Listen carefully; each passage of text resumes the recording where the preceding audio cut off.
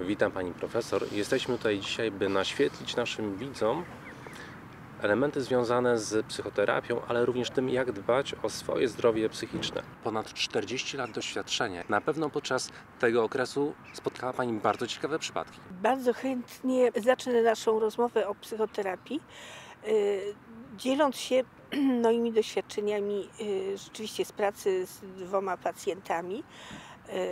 Choć takich najciekawszych, no pewnie miałabym jeszcze więcej. Pierwszy pacjent był w mojej grupie psychoterapeutycznej. Zetknęłam się y, z nim y, w takich dość szczególnych okolicznościach, kiedy psychoterapia trwała mm, tylko przez miesiąc.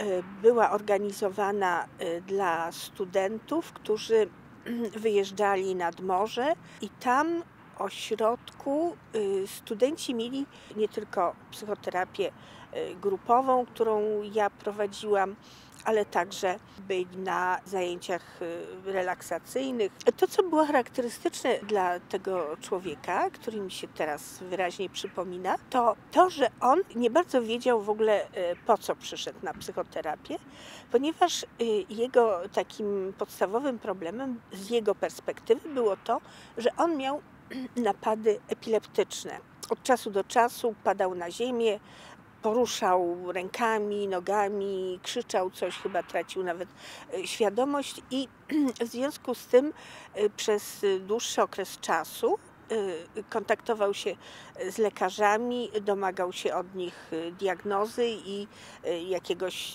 leczenia tego jego złego stanu zdrowia. Natomiast po dokładnych badaniach, jakimi, jakim został poddany, lekarze wyraźnie stwierdzili, że oni nie dostrzegają żadnych somatycznych, biologicznych, no, takich wynikających przede wszystkim z funkcjonowania układu nerwowego przyczyn i lekarze mu powiedzieli, że on powinien zgłosić się do psychoterapeuty, dlatego też przyjechał na ten nasz obóz, ale z takim poczuciem, że być może będzie to czas stracony. Na początku jego pobytu w tym, tej, tej mojej grupie psychoterapeutycznej dotarła do mnie taka informacja, że podczas jakichś zajęć relaksacyjnych on wpadł w ten, ten swój chorobliwy stan, że pojawił się u niego ten taki napad, który on nazywał napadem epileptycznym, ponieważ pracuje przy użyciu takich metod, które są nastawione na to, żeby dostarczać pacjentom nowych doświadczeń, żeby oni mogli aktywnie w procesie psychoterapii uczestniczyć. Dlatego też pomyślałam sobie, że podczas grupy psychoterapeutycznej można temu pacjentowi zaproponować, żeby poćwiczył taki stan relaksu.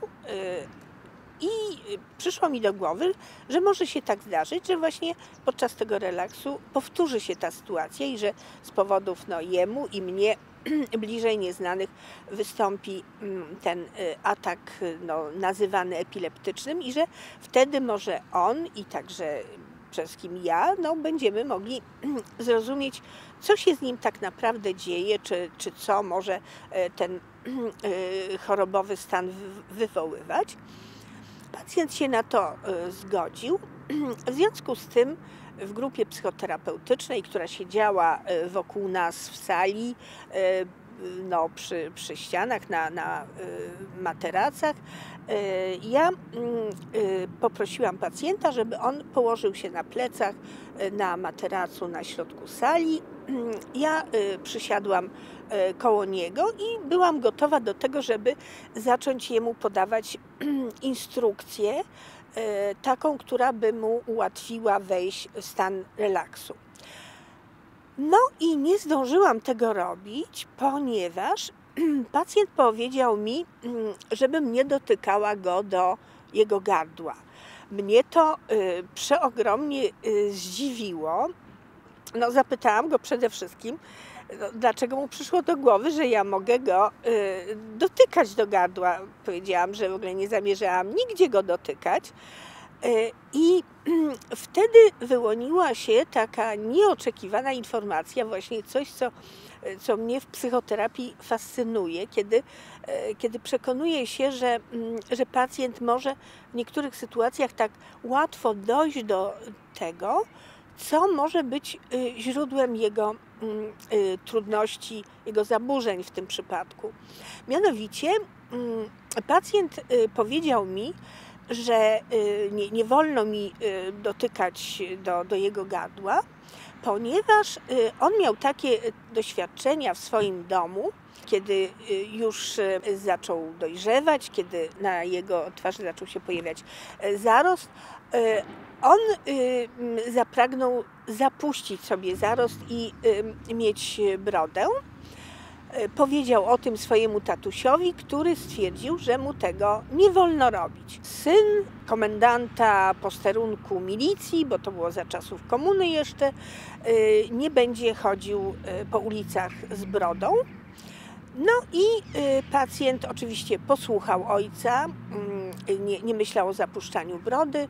Następnego dnia z rana stanął w związku z tym, jak w ostatnim czasie to, to bywało, stanął przed lustrem, przygotował się do golenia, mm, wziął brzytwę, czy, czy nie wiem, może maszynkę mm, taką z żyletką i kiedy dotknął do gardła, okazało się, że nie może y, się golić, ponieważ dostał strasznego ataku kaszlu. E, za każdym razem, kiedy przybliżał mm, rękę do gardła, no to y, pojawiał się ten atak kaszlu. No i krótko mówiąc, stało się po prostu tak, że pacjent y, nie mógł się golić i w związku z tym no, musiał zapuścić brodę, z czym tatuś się pogodził tym zjawisku widać wyraźnie bardzo ważne, ciekawe informacje dla psychoterapeuty, które oczywiście wykorzystałam. Ale y, powiem także, że mm, y, potem y, pojawiła się od pacjenta informacja, która no może jeszcze bardziej była dla mnie szokująca. E, mianowicie mm, pacjent ten powiedział, że trochę podobnie zdarzyło się, kiedy e, już był bardziej, bardziej dorosłą osobą i kiedy miał wybierać kierunek studiów. On wówczas e, pomyślał, że chciałby studiować bibliotekoznawstwo, ale jego ojciec zabronił mu o tym w ogóle myśleć. Uznał, że e, syn komendanta posterunku milicji nie będzie jak baba studiował bibliotekoznawstwa, że ma y, syn zdawać na Politechnikę, y, na, na chemię. No i pacjent ponownie się mm, z tym zgodził i Stało się tak, że miał jeszcze nadzieję, że może y, nie zda egzaminów, ale okazało się, że dostał się na studia. No i zaczął w związku z tym, y, zgodnie z nakazem tatusia, studiować. Tymczasem mm, troszkę y, podobnie jak w przypadku tego protestującego, prawda, w cudzysłowie oczywiście gadła, pojawił się u pacjenta następny symptom. Mianowicie kiedy przyszedł na zajęcia z chemii i przechodził e, przez e, takie blisko siebie e, stojące półki, na których stało pełno szklanych naczyń z różnego typu odczynnikami chemicznymi, to właśnie wtedy nagle padł na ziemię, zaczął prawie tracąc świadomość, krzyczeć, machać rękami, nogami. E, przy okazji e, poprzewracał te e, półki z odczynnikami, potłukło się szkło laboratoryjne, powylewały się mm, odczynniki. No i sytuacja powtarzała się, powtarzała się trzy razy i kiedy tak się działo, to chłopak został poproszony y, przez y, władze y, jego mm, wydziału i powiedziano mu, że on musi zmienić kierunek studiów, bo trudno się pogodzić z tym, co, co się z nim dzieje. No i tu już chyba nie trzeba się długo zastanawiać, domyślają się pewnie Państwo, że chłopak zdawał na bibliotekoznawstwo i wtedy, kiedy ja go znałam, no to y, był już studentem bibliotekoznawstwa. Pacjent odkrył, jaką rolę pełnią objawy w jego życiu. Tak można powiedzieć i y, chciałam y, powiedzieć teraz Państwu jeszcze o drugim rodzaju moich doświadczeń z pacjentką, która mm, y, trochę inne y, zjawiska występujące w psychoterapii ujawniła, żebyśmy mogli potem troszkę dokładniej ten pierwszy przypadek i drugi przypadek przeanalizować. Jeśli chodzi o doświadczenia z tą drugą osobą, to były one o tyle odmienne, że była to troszkę młodsza dziewczyna. Ona jeszcze nie była studentką, tylko y, była y, uczennicą szkoły pielęgniarskiej y, i zgłosiła się w jej sprawie do mnie wychowawczyni tej dziewczyny, ponieważ dziewczyna biła swoje koleżanki, co jak rozumieją Państwo, prawda, dla uczennicy szkoły pielęgniarskiej no było bardzo obciążające. No ale wychowawczyni wywalczyła w szkole, że nie wyrzucą jej, y, tej, tej uczennicy, tylko właśnie y, skierowana będzie na, na psychoterapię. Ja się zgodziłam, żeby była ona w mojej grupie. Y, ona wyraźnie inaczej wyglądała niż pozostali pacjenci w grupie. Zwykle się nie odzywałam, siedziała taka y, zgarbiona, patrzyła na mnie takim agresywnym y, wzrokiem. Y, miałam takie fantazje, że jeszcze chwilę, a może podejść i zachować się wobec mnie tak jak wobec swoich koleżanek. I kiedyś zdarzyło się tak, że ona mm, przyszła do mnie przed sesją grupową weszła do takiego pokoju dla terapeutów i powiedziała, że nie była przez kilka dni w szkole i że ja powinnam y, napisać jej y, zaświadczenie usprawiedliwiające jej y, nieobecność. No więc ja powiedziałam, że ja oczywiście takiego usprawiedliwienia nie, nie mogę napisać, natomiast bardzo ją zachęcam do tego, żeby w grupie o, o swoich sprawach powiedziała.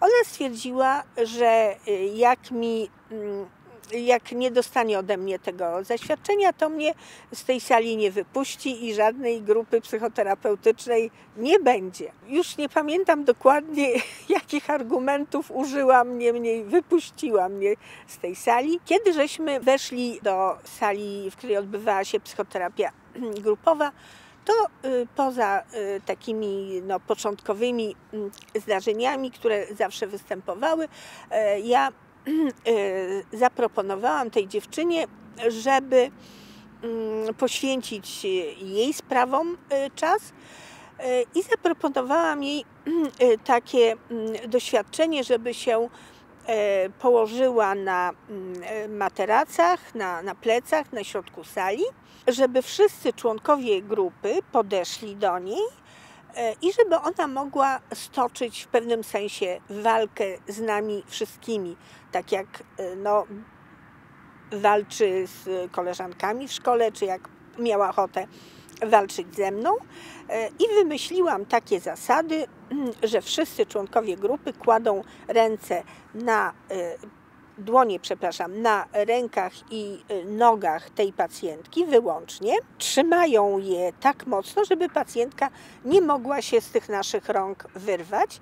Ale y, funkcjonowała jeszcze taka druga zasada, mianowicie, że kiedy jej się udało y, wyrwać z jakiejś jednej tam dłoni, to już nie można było powrócić do, do tej sytuacji.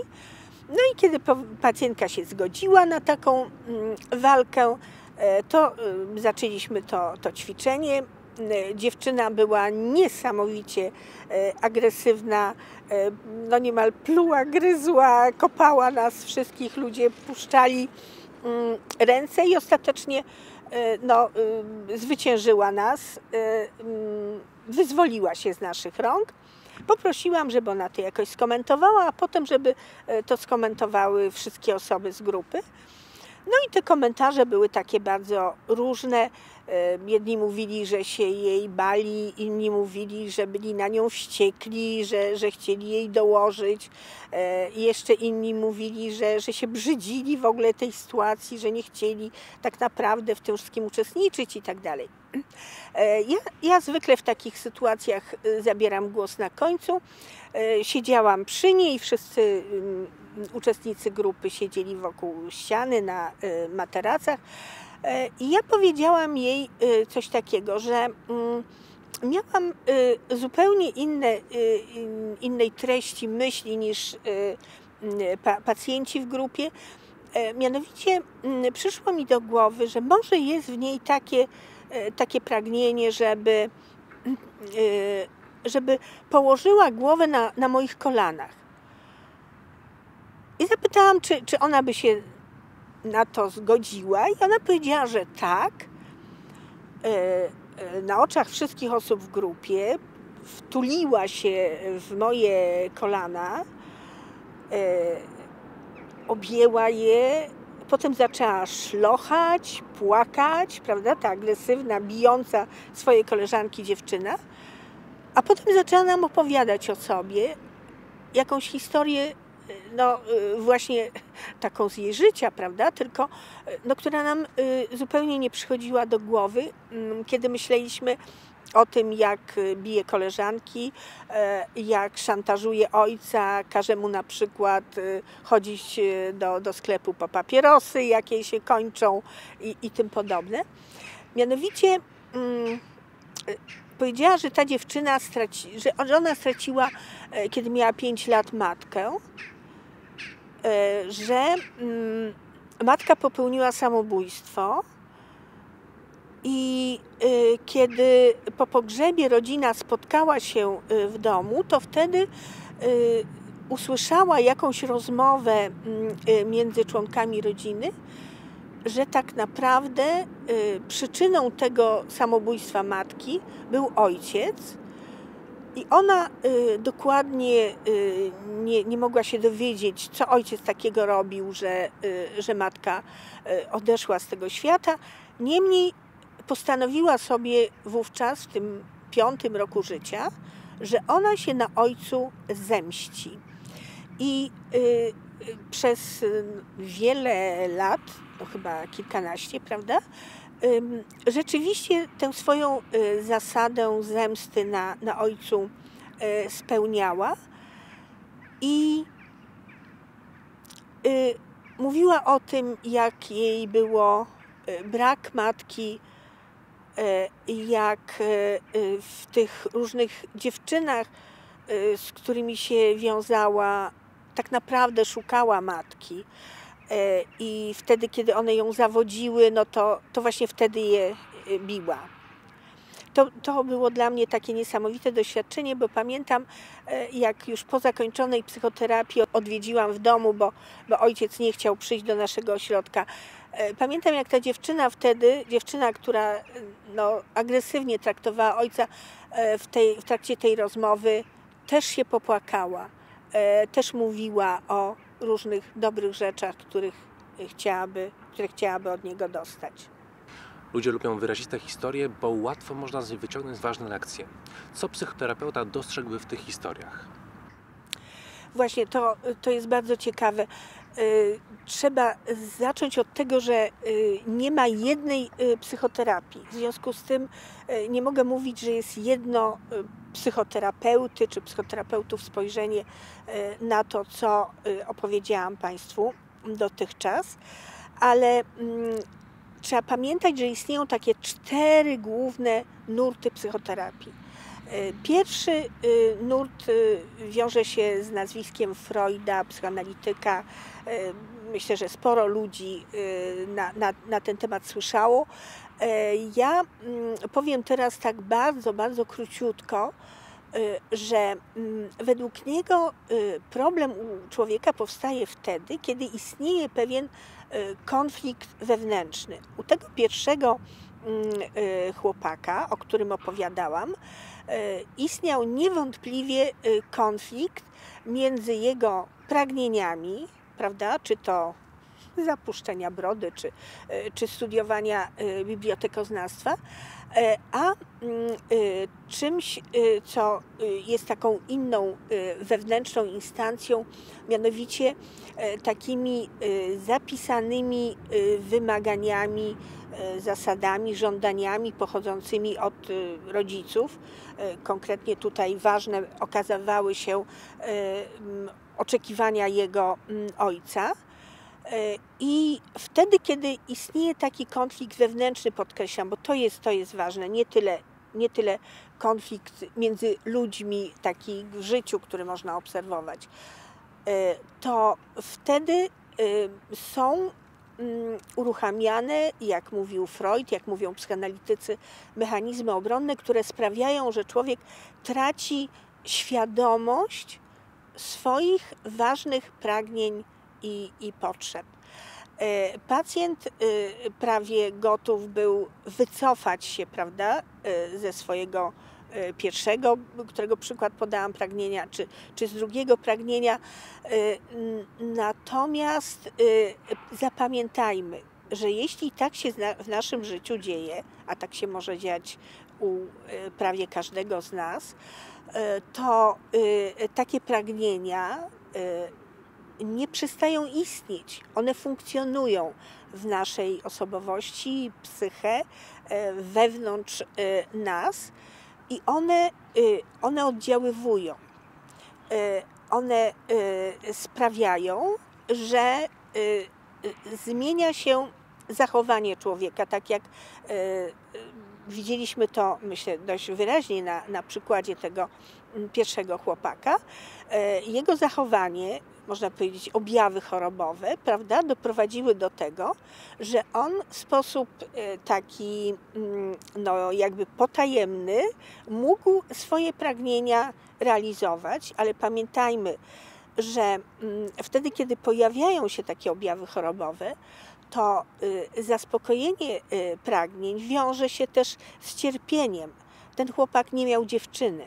Ten chłopak się wstydził tego, że takie e, objawy, jak właśnie te no, niby epileptyczne napady u niego e, występują, bo koledzy się z tego śmiali, bo on bał się szukać jakiegoś kontaktu z dziewczynami.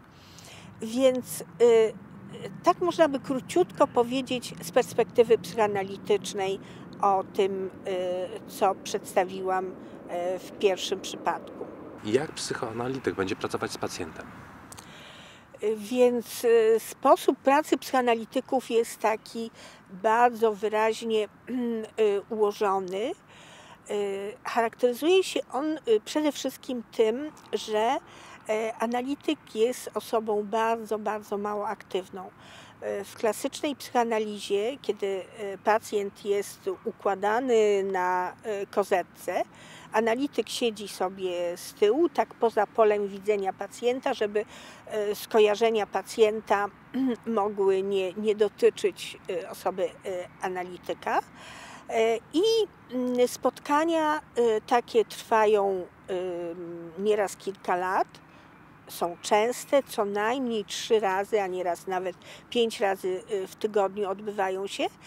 I analityk jest osobą, która zachęca pacjenta do wypowiadania e, swobodnych skojarzeń wszystkich myśli, jakie pacjentowi przychodzą do głowy, e, z taką nadzieją, że właśnie te e, nieświadome potrzeby, pragnienia, to, co tak naprawdę kieruje zachowaniem pacjenta, a z czego on sobie świadomie nie zdaje sprawy, że to w ramach jakichś y, pomyłkowych wypowiedzi y, gdzieś się y, zacznie przejawiać.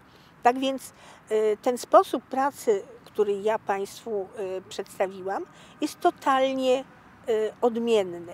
Nie będę więcej szczególnie o psychoanalizie mówiła, poza stwierdzeniem, że istota pracy ma polegać na tym, żeby właśnie pacjent uświadomił sobie to, co było dotychczas nieświadome.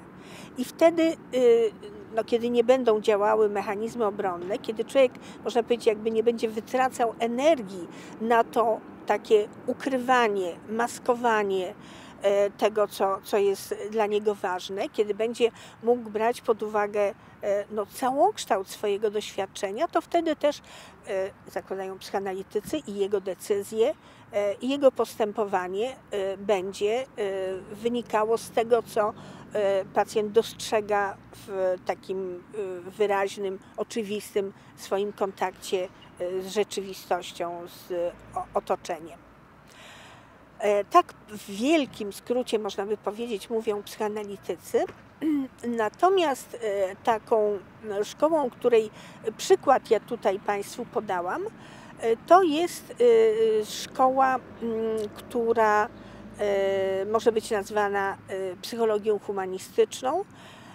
To taka szkoła, która nie, nie tworzy jakichś takich szczególnych E, e, schematów, e, założeń teoretycznych, ponieważ tu przyjmuje się, że każdy człowiek jest jednostką taką niepowtarzalną i że każdy ma swoje własne, specyficzne sposoby mm, funkcjonowania. I mm, to, co chciałam, to na co chciałam zwrócić przede wszystkim uwagę, to to, że y, moje postępowanie, y, które nazwałam zgodne właśnie z tym podejściem humanistycznym, y, w przypadku tego pacjenta polegało właśnie na tym, że oczywiście ja mu nie narzucałam tego, co, co ma mówić, nie e, wymagałam e, od niego odpowiedzi na jakieś szczególne moje pytania, tylko prowokowałam pewną sytuację taką, która dostarczała mu nowych doświadczeń. I to doprowadzało do, do ujawnienia, można powiedzieć, że takich wyraźnych przyczyn i jego trudności stwarzało możliwość pracy nad y, tymi y, trudnościami dalej. Jakie są inne założenia terapii humanistycznej? Przyjmuje się tutaj, że mm, każdy, każdy człowiek wtedy, kiedy pojawia się na, na świecie, ma takie mm, podstawowe potrzeby Y, takie, y, które wiążą się z jego ja, y, które w przypadku no, bardzo małego dziecka na przykład dotyczą takiej potrzeby obecności w życiu dziecka, obecności powiedzmy matki, kontaktu takiego bezpośredniego małego dziecka, oczywiście dotykowego i, i tym podobne.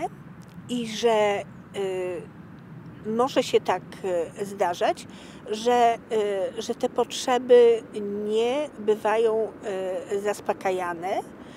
Zaczyna się tworzyć także takie ja, które przez niektórych psychoterapeutów tej orientacji jest określane jako ja fałszywe, czyli mm, takie, które dostosowuje się do, do otoczenia, do tego czego wymaga otoczenie, co, co tak naprawdę może od otoczenia uzyskać.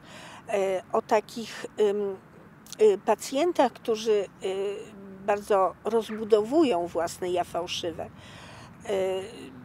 można dużo opowiadać. Mnie przede wszystkim tutaj, choć psychologia humanistyczna zajmuje się oczywiście mm, różnymi Y, trudnościami, jakie występują w życiu ludzi, ale tak bardzo pięknie y, opowiada mm, lęk o y, mm,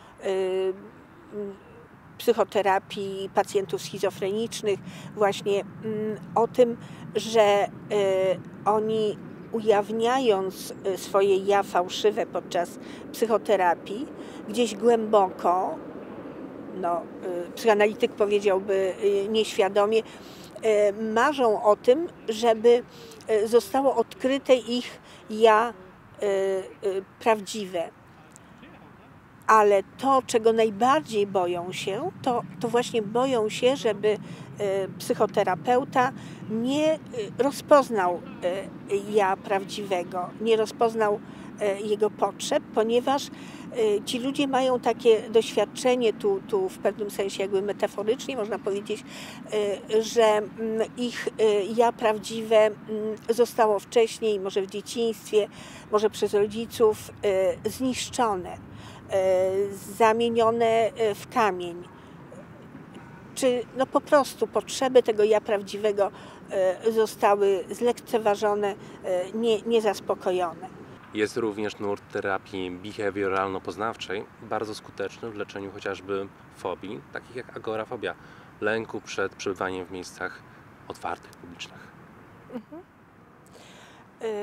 Y tak. Y dodam może jeszcze, że z niektórych badań bo to jest e, badania nad psychoterapią to sprawa bardzo złożona, wynika, że e, depresja jest dobrze leczona przy użyciu właśnie mm, terapii poznawczej, ale ja powiem, bo według mnie to będzie taki klarowny przykład też z mojego doświadczenia psychoterapii behawioralnej stosowanej wobec mm, pacjentki, która miała objawy agorafobii od 20 lat, więc strasznie, strasznie długo, prawda? Była leczona przy użyciu różnych e, metod, nawet gdzieś za granicą, w jakimś sławnym ośrodku, e, i e, objawy agorafobii nawet jeśli u niej zniknęły, to po pewnym mm, czasie wracały. Y, ja dowiedziałam się od niej, y, w tej terapii oczywiście nie, nie szuka się jakichś y, głębokich prawda, źródeł, ale szuka się sytuacji po prostu. Terapia behawioralna to innymi słowy taka terapia, która zajmuje się zachowaniem człowieka. Szukamy sytuacji, w których określone zachowania mm, u pacjenta występują terapia behawioralna zajmuje się e, albo zachowaniami niepożądanymi, prawda, tak jak e, unikanie e, otwartej przestrzeni. Konkretnie rzecz biorąc, ta moja pacjentka wtedy, kiedy mm, zjawiła się u mnie, to od dwóch lat nigdy nie wyszła sama na ulicę z powodu lęku. I szuka się właśnie takich zachowań niepożądanych, które trzeba usunąć albo uczymy pacjenta y, pewnych zachowań pożądanych, których on nie jest w stanie y, przejawiać. Ta moja pacjentka mm, po raz pierwszy objawy agorafobii miała jeszcze za czasów takiej bardzo głębokiej komuny, kiedy jej mąż dostał pracę za granicą od komunistów oczywiście i dzieci razem z małżonką nie były wypuszczone do niego, nie mogli razem mieszkać, żyć. E, I kiedy pacjentka e, jechała e, po raz kolejny do jakiegoś urzędu, żeby właśnie tę sprawę załatwiać, mm, nagle na ulicy w środku dnia, wtedy kiedy nic groźnego prawda, wokół się nie działo, nagle dopadł ją tak paniczny lęk, że nie była w stanie e, do tego urzędu pojechać, wróciła do domu. No i od tej pory po prostu nie była e, zdolna do tego, żeby, żeby wychodzić e, sama na ulicę. Moja ta terapia, którą zastosowałam, polegała na tym, że uczyłam pacjentkę najpierw wprowadzać się w stan y, relaksu. Ona przychodziła do, do kliniki psychiatrycznej, w której wówczas pracowałam, tam kładła się na, na kanapce i ja wprowadzałam ją w stan y, relaksu. Wszystko to było po to, żeby y, kiedy będzie ona już zdolna do relaksowania się tam na, na mój znak, żeby w tym takim dobrym stanie zrelaksowania mogły być podawane przeze mnie e, bodźce, które e, tak e, zawodowo nazwę lękotwórczymi. Czyli podawałam jej takie bodźce, które jej się kojarzyły z byciem samodzielnym na, na ulicy, czy mm, z innymi, mniej może lękowymi sytuacjami, jakie też przeżywała. No i dlatego też, kiedy pacjentka nauczyła się relaksować, w drugiej fazie, kiedy przychodziła do gabinetu, wprowadzałam ją w stan relaksu, Następnie, można powiedzieć, podawałam ten taki na początku słaby bodziec lękotwórczy. I istota rzeczy, prawda, bo twórca tej mm, metody tak to sobie wymyślił, że wtedy, kiedy mamy pobudzony taki, mm, taką część układu nerwowego, która jest odpowiedzialna za stan relaksu, i jeśli podamy jakiś bodziec lękotwórczy, na tyle słabiutki, że on tego stanu relaksu nie, nie zmieni, to ten bodziec lękotwórczy zaczyna się pacjentowi kojarzyć z tym dobrym stanem relaksu. I y, Istota psychoterapii polega na tym, żeby w miarę upływu czasu podawać pacjentowi, wtedy oczywiście, kiedy jest w stanie relaksu, podawać coraz silniejsze bodźce lękotwórcze. Mm, no, na pewnym etapie, można powiedzieć, mm, wyglądało to w ten sposób, że mm, odtwarzałam z magnetofonu pacjentce e, takie sugestie dotyczące e, tego, że, że sobie wyobraża, że e, wychodzi z domu po klatce schodowej na, na ulicę, oczywiście wychodzi sama, no i tak dalej, i tak dalej. Kiedy przekonałam się, że pacjentka nie reaguje lękiem na te bodźce, to wówczas ona wykonywała mm, takie zadania w realu. Pierwsze jej samodzielne wyjście na, na ulicę polegało na tym, E, tak, tak to sobie wymyśliłam, że e, taki psychiatra, z którym współpracowałam, e, siedział mm, w kawiarence oddalonej powiedzmy sobie 500 metrów od kliniki psychiatrycznej i czekał na nią. Ona oczywiście o tym wiedziała. Natomiast mm, kiedy pacjentka wyszła z kliniki po raz pierwszy, prawda, od dwóch i pół roku chyba, na, na ulicę, też wiedziała o tym, że ja wychodzę za nią 5 minut później, także ona mnie nie widziała, ale wiedziała, że gdyby się coś zdarzyło, prawda, to będzie zabezpieczona, może albo biec do tego psychiatry, albo e, poczekać na mnie, czy, czy biec do mnie. No na szczęście w ogóle taka pomoc nie była potrzebna. Pacjentka e, spokojnie, e, bez lęku przeszła ten, ten dystans. Potem żeśmy ten dystans powiększali i powiększali, aż doszło do momentu, kiedy pacjentka zaczęła sama przyjeżdżać do mnie na wizyty do mm, kliniki. Opowiadała mi na przykład o tym, że z radością stoi na przystanku autobusowym, kiedy nie ma długo, na przykład pół godziny autobusu i się nie boi po prostu. Terapia systemowa, w przeciwieństwie do pozostałych trzech, skupia się na grupie osób, nie na pojedynczej jednostce. No właśnie. W tych y, doświadczeniach, tak jak mm, y, Państwo y, słyszeli, tych trzech osób, o których tutaj opowiadałam, mm, ważne było to, co nastąpiło w przeszłości, prawda? Te, te wcześniejsze doświadczenia mogły prowadzić do, mm, do aktualnych zaburzeń. Natomiast w terapii behawioralno-poznawczej oczywiście w znacznie prawda, mniejszym stopniu, ale w terapii systemowej zdecydowanie przyjmuje się takie podstawowe założenie, że przyczyną problemów pacjenta jest jego aktualna sytuacja w systemie mm, rodzinnym, nie przeszłość i od razu podkreślę, bo to jest bardzo ważne, w terapii systemowej nie szuka się jakiejś przeszłości jedynej przyczyny, czy już tak bardziej mówiąc potocznym językiem, nie szuka się tego, kto jest winny, prawda? Kto y, doprowadza do, do powstawania mm, pewnych y, problemów w rodzinie. Y, w terapii systemowej wykorzystuje się Y, mm, to, że, że można oddziaływać równocześnie na, y, na kilka osób.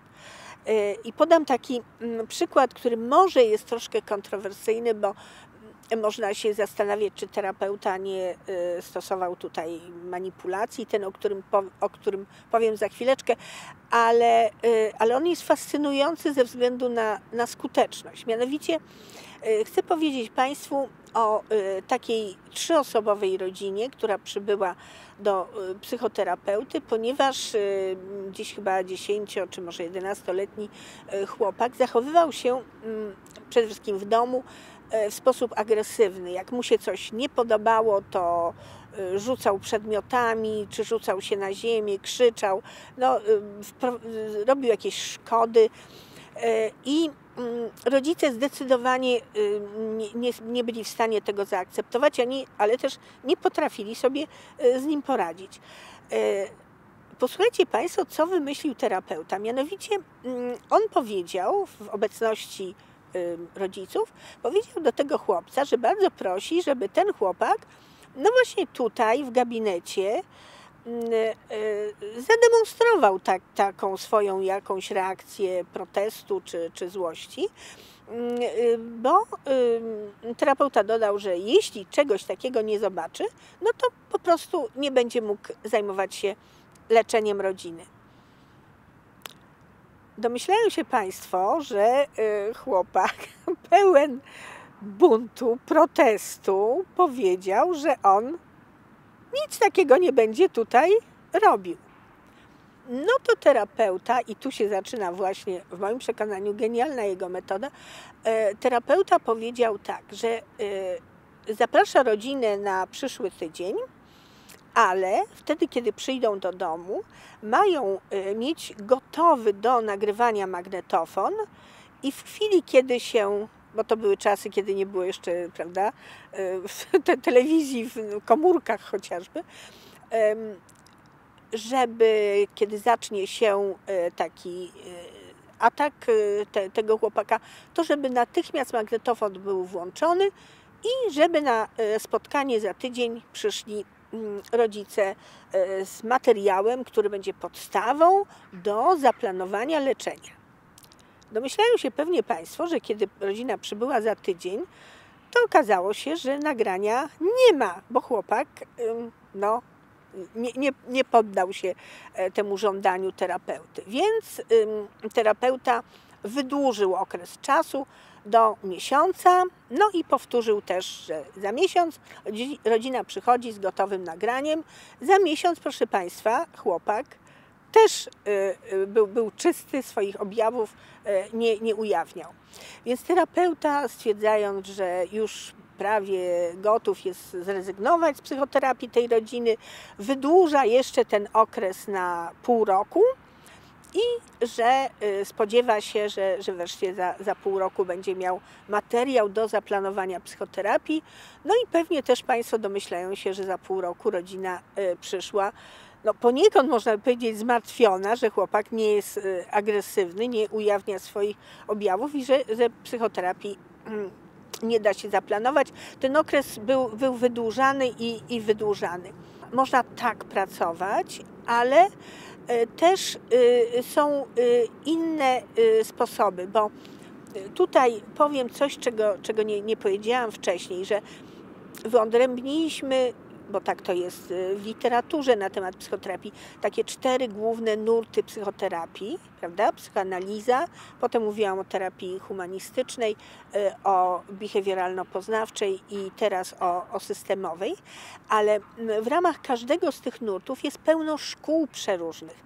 Jest tych szkół y, pewnie teraz więcej niż, niż 500 E, więc podobnie mm, w tym nurcie systemowym e, poszczególne szkoły zwracają uwagę na różne aspekty funkcjonowania rodziny. Na przykład jest taka szkoła, która jest określana jako komunikacyjna. E, I, I ta szkoła na przykład zajmuje się także takimi pacjentami, u których występują głębsze zaburzenia psychoanalitycy powiedzieli, że, że zaburzenia tożsamości, właśnie e, takie, takie problemy z ja, to szkoła mówi coś takiego, że e, e, taki pacjent, którego psychiatra mógłby nazwać schizofrenikiem, taki pacjent nie komunikuje się z otoczeniem i przejawia sygnały wskazujące na to, że właśnie nie chce komunikować się z otoczeniem takie, takie sygnały, że się nie chcemy z kimś komunikować, no to, to oczywiście my znamy. Mnie w tej chwili przychodzi do głowy chociażby to, że jak jedziemy w przedziale kolejowym, to możemy wyciągnąć książkę albo czytać gazetę i dla mm, podróżnych, którzy koło nas siedząc, siedzą mówić, ja, ja nie chcę z tobą rozmawiać, prawda? Ale mm, są y, takie osoby, tacy pacjenci, którzy też komunikują to, że, że y, zaprzeczają, przepraszam, temu, że się nie komunikują, bo y, w tej szkole komunikacyjnej zarazem stwierdza się, że nie można nie komunikować się. Kiedy pan siedzi tutaj, patrzy na mnie i trochę kiwa głową, to pan niewerbalnie, prawda? Przekazuje mi pewne E, pewne komunikaty. Nawet gdyby Pan miał poczucie, że, że Pan mi nic nie komunikuje, to ja mogę e, Coś wyczytać, do, dostrzegać, prawda? prawda? Jak, jakieś sygnały. Ale właśnie ważne jest to, że, że są tacy, którzy mm, temu, tym komunikatom zaprzeczają. Na przykład miałam takiego pacjenta, który przyszedł bardzo zdenerwowany na, na spotkanie, bo był w parku z dziewczyną i w pewnym momencie ją y, objął i przytulił do siebie, po czym natychmiast y, za, zabrał rękę, bo stwierdził, że on mógł w ten sposób coś wobec niej wyrazić. I nie tylko się wystraszył, ale kiedy przyszedł do domu, to do niej zadzwonił i powiedział, żeby ona nie myślała, że jak on ją objął, to chciał przez to co, coś wyrazić.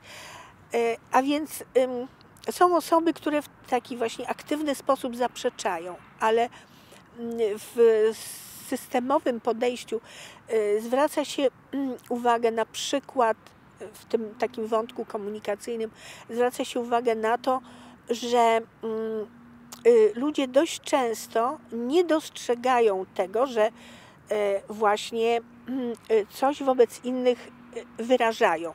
Ja to podam na przykładzie małżeństwa. Takiej żony, która gdera i mm, męża, który y, y, wtedy, kiedy żona gdera y, ucieka z mieszkania na, na spotkanie z kolegami, na piwko czy coś takiego. I kiedy mąż po powrocie ze spotkania wraca, po powrocie, przepraszam, pojawia się w domu, to wtedy żona zaczyna gderać. Taki mechanizm prawda, powtarzania się tych dwóch y, zachowań, y, gderanie, ucieczka, gderanie, ucieczka, y, jest pokazywany pacjentom podczas terapii systemowej. I co jest w tym ogromnie ważne, mianowicie to, że każda z tych dwóch osób uczestniczących no, w tych samych zdarzeniach, prawda, oni to samo widzą i słyszą, spostrzega tę sytuację inaczej. Mianowicie, żona uważa, że mąż jest osobą nieodpowiedzialną, niedbającą o dom, o dzieci itd. Tak mąż, podobnie jak żona, nie czuje się odpowiedzialny za, za sytuację, która istnieje. Uważa, że on się zachowuje zupełnie normalnie. Odpowiedzialna za wszystko jest żona. Gdyby ona nie gderała, on nie opuszczałby domu. A więc to, co się pokazuje, to pokazuje się, że każda z tych osób uczestniczących e, w tej interakcji, każda z nich prowokuje drugą do pewnych zachowań. Czyli można by powiedzieć, jest współodpowiedzialna za mm, te e, zachowania e, drugiej osoby. I mm, następna rzecz, można powiedzieć, jak, jak, ludzie są uczeni, to mm, uczeni są tego, żeby wybierać takie własne zachowania, które mogą prowokować coś ze strony drugiego człowieka, co byśmy chcieli, a nie to, co nam się nie podoba. Pani profesor, wiemy już, czym różnią się od siebie różnego rodzaju te formy terapii. Kiedy zatem warto wybrać się do psychoterapeuty i rozpocząć pracę nad swoimi problemami? Myślę, że y, takiej bardzo jednoznacznej odpowiedzi na to pytanie to y, nie ma. Natomiast y, każdy człowiek, który znajduje się w jakiejś trudnej sytuacji życiowej, e, zwłaszcza jeśli nie, nie potrafi sobie poradzić sam ze sobą, e, oczywiście z innymi ludźmi także, to mm, może, jak wiadomo, korzystać niekiedy z pomocy przyjaciół czy, czy rodziny, bo tak robimy i to bywa skuteczne, oczywiście, jeśli mamy wokół siebie y, życzliwe osoby. Ale y, to taka pomoc może być niewystarczająca. No i wtedy, kiedy czujemy, zdajemy sobie sprawę z tego, że e, potrzebny jest ktoś, kto mm, takim zawodowym okiem e, popatrzy na nasze trudności, to powinniśmy zgłosić się do, do psychoterapeuty. E, psychoterapeuci, jak wiadomo, istnieją mm, w ośrodkach takich państwowych. Niestety jest ich coraz mniej, pojawia się coraz więcej prywatnych ośrodków, czy też e, ośrodków e, takich gabinetów prywatnych, o których sporo informacji można uzyskać w internecie. Chciałabym od razu powiedzieć, że warto jest wybierać takich psychoterapeutów i mamy prawo, my, klienci, E, zadawać e, z tego zakresu pytania. Warto wybierać takich terapeutów, którzy mm, mają coś, co my określamy, my psychoterapeuci, jako e, certyfikaty, prawda? Czyli kiedy pewna instytucja mm, potwierdza kompetencje psychoterapeuty.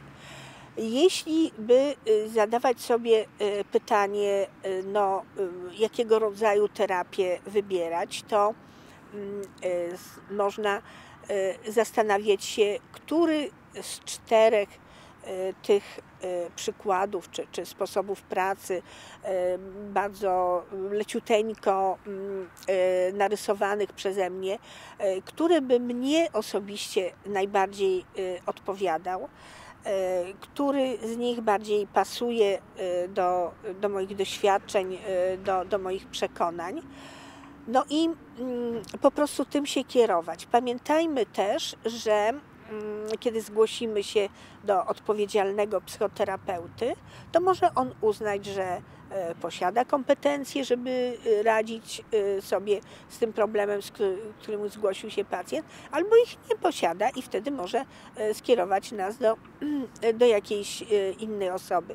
Wiadomo, że właśnie terapeuci różnią się tym, jaką szkołę psychoterapii y, realizują w praktyce. Tu należy dodać, że jest ogromna liczba, coraz większa liczba y, takich szkół psychoterapii, które integrują, łączą poszczególne metody szkół psychoterapeutycznych. Więc można też, też o tym pamiętać, że, że taka możliwość istnieje.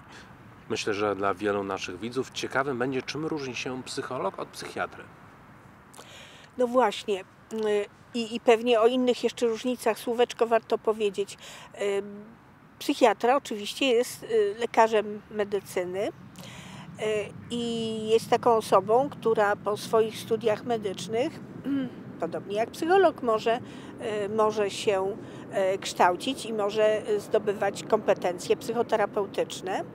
Natomiast y, sam fakt bycia psychiatrą oczywiście nie upoważnia do tego, żeby psychiatra prowadził psychoterapię. Natomiast psychiatra, jak wiadomo, głównie zajmuje się tymi pacjentami, u których występują tak jak my mówimy, głębsze zaburzenia, poważniejsze, większe trudności, kiedy mm, no przede wszystkim stosowana jest farmakoterapia, E, I e, jak wiadomo, oczywiście tylko lekarz ma, ma prawo do e, przepisywania mm, leków.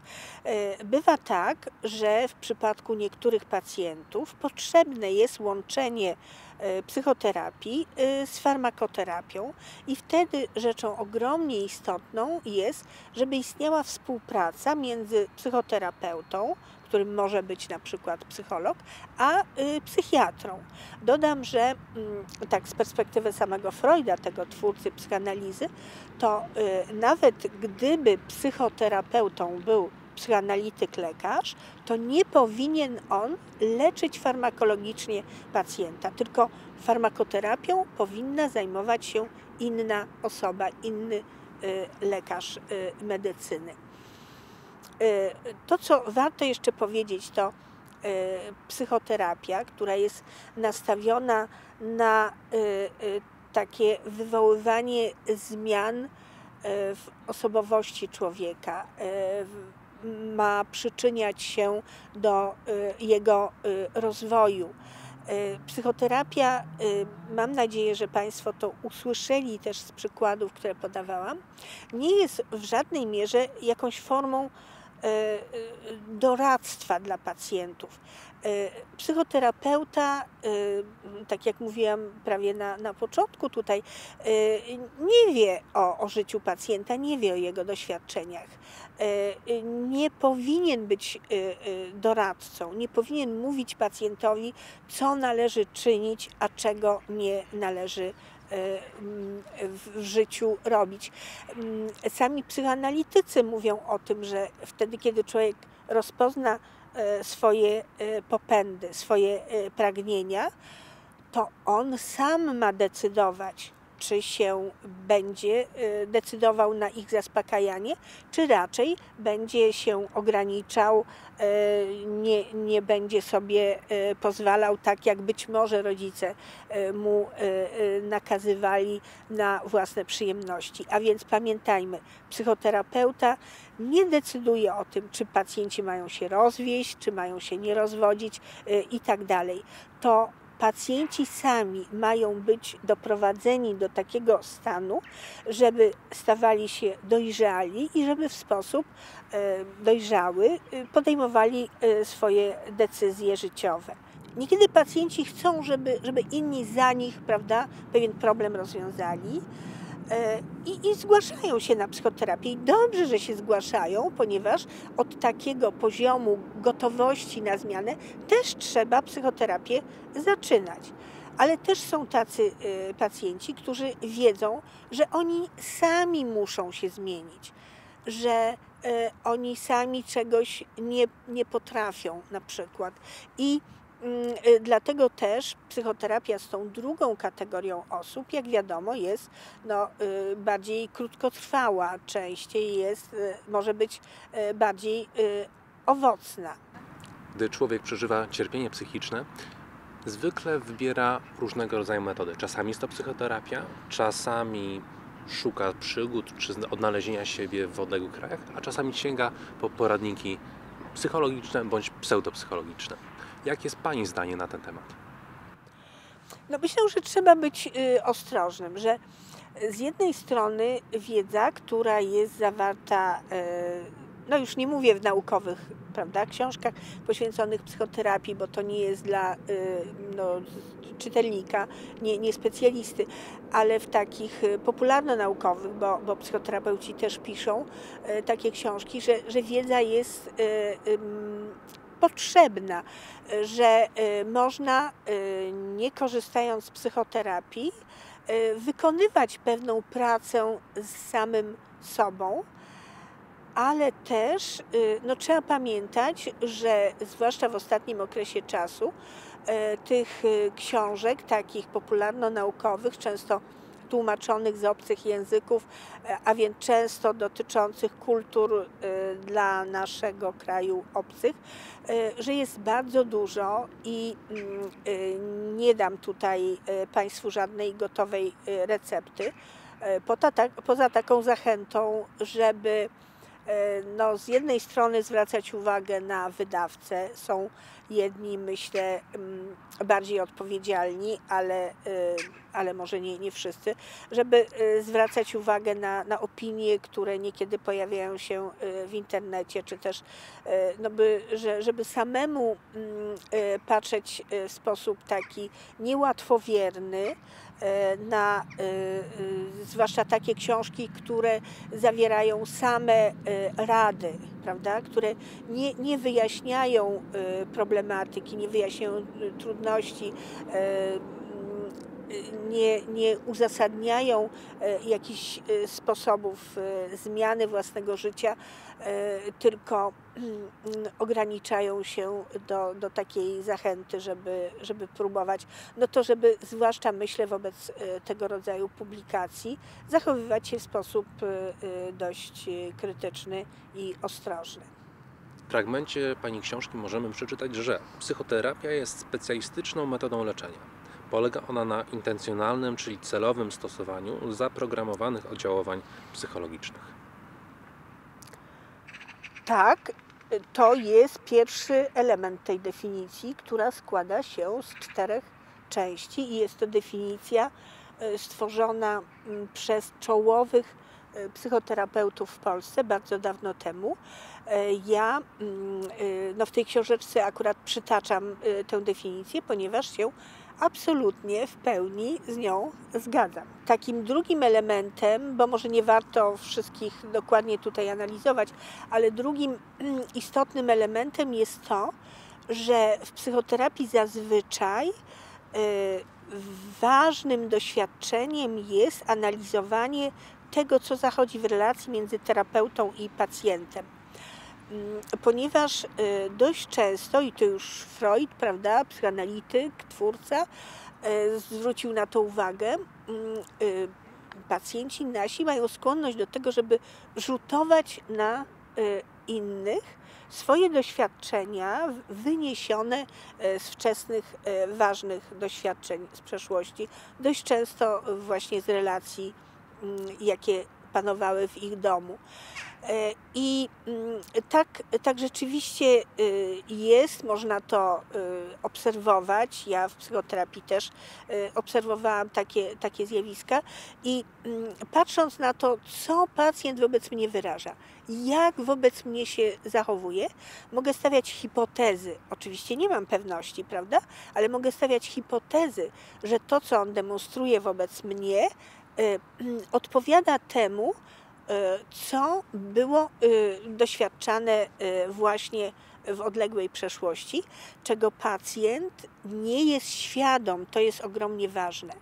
I pamiętajmy też, że mm, y, to, że y, pacjent przenosi na nas, psychoterapeutów, y, swoje doświadczenia, y, to nie jest czymś wyjątkowym, bo on to po prostu robi y, zwykle, permanentnie w życiu. Żona może przenosić swoje doświadczenia y, z ojcem na męża. Mąż może przenosić swoje doświadczenia z matką na, na żonę. E, Każdy z nas może przenosić swoje doświadczenia na własnego szefa i tak dalej. I mm, jest to, y, jest to bardzo, bardzo ważna y, informacja, bo tak z punktu psychoanalizy, prawda, mówiliśmy o tym, że najważniejsze jest to, czego pacjent nie jest świadom, czyli można by powiedzieć, nie tyle ważne jest to, co on mówi psychoterapeucie, ale ważne jest to, czego on nie mówi. W związku z tym e, też e, analizując e, te, te takie mm, przenoszone ustosunkowania, możemy e, ujawnić bardzo ważne aspekty funkcjonowania człowieka, ponieważ pacjent nie jest ich świadom, ale one wpływają na jego życie.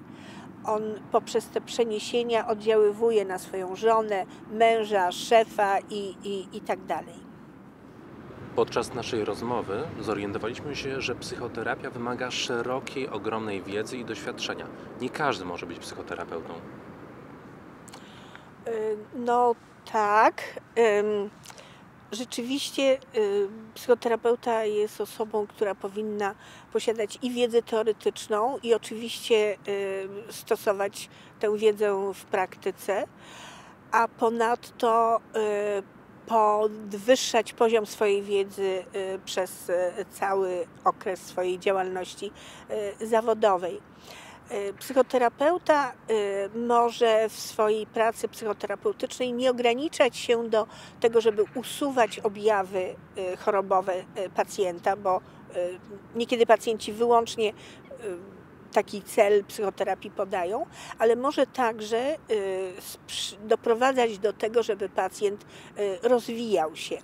I właśnie psychologia humanistyczna, która przyznam, mnie się szczególnie podoba, y, jest y, tak, taką koncepcją, która na rozwój pacjenta kładzie duży nacisk. Bardzo mi się podoba taka metafora, w której mówi się o tym, że psychoterapeuta ma funkcjonować tak jak chirurg, który mm, wtedy, kiedy przychodzi do niego pacjent ze złamaną kończyną, to ma tę kończynę ustawić w odpowiedni sposób, żeby uruchomić takie mechanizmy leczące organizmu, prawda? Psychoterapeuta właśnie e, ma tylko do tego e, etapu, można powiedzieć, pacjenta e, doprowadzić, w którym on będzie mógł sam w sposób odpowiedzialny rozwijać się i też pacjent ma wybierać kierunek tego rozwoju, e, a, a nie, nie psychoterapeuta wyznaczać, e, jak pacjent powinien się zmieniać. Podsumowując Pani wypowiedź, psychoterapia rozwija się w Polsce. I mamy coraz więcej bardzo dobrych terapeutów e, i może być doskonałym rozwiązaniem dla tych, którzy odczuwają jakieś cierpienie psychiczne, mają swoje problemy. Psychoterapia jest dla nich wyjściem z sytuacji.